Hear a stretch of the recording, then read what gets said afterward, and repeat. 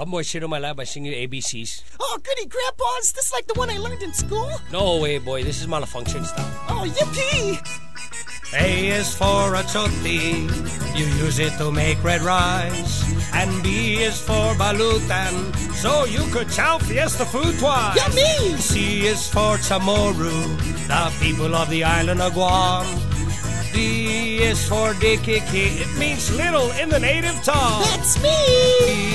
Is for Ekungo. It means listen to what I say. Okay. And F is for Fiesta. It's a party the island way. Yay! And G is for Guam, my lovely island in the sun. H is for on, cause some boy, that's what you call your hon. I don't have a girlfriend. I is for island, it's what we're living on. And J is for jalopy, also known as a guamba. That's like your car, Grandpa. K is for kakano, that's what happens when you wear a thong.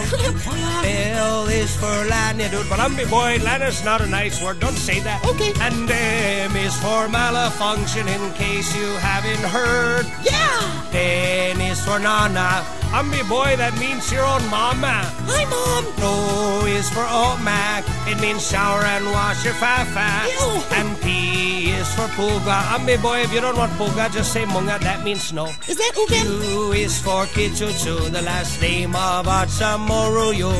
R is for Rockyo, makes your own breath smell just like Tokyo. Yucky. S is for Salapi, it means money if you got it, you're lucky.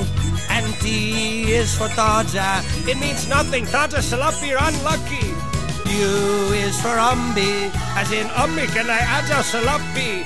And W is for Whistle, if you know what I mean, say. And X is for my ex. I her child support for our kids. And Y is for Zornia. Why? Because it's the baddest village there is. I'm boy G is for Jory, that's all. Okay, Grandpa.